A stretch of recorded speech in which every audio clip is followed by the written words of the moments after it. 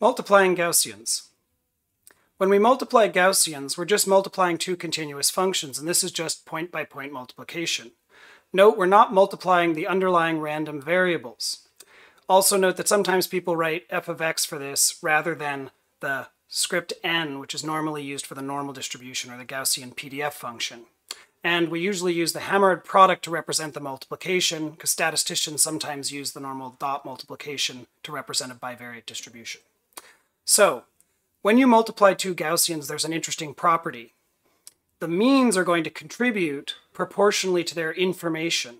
So if I combine two Gaussians, I'm going to weight them with some weighting, here A.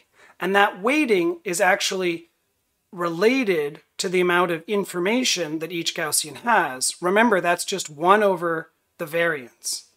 You can prove this for yourself in the bonus tutorial. Also note that information adds. So you're going to explore how this works by multiplying the two Gaussians seen here. One is the satellite, the other is the space mouse, to find the center of them.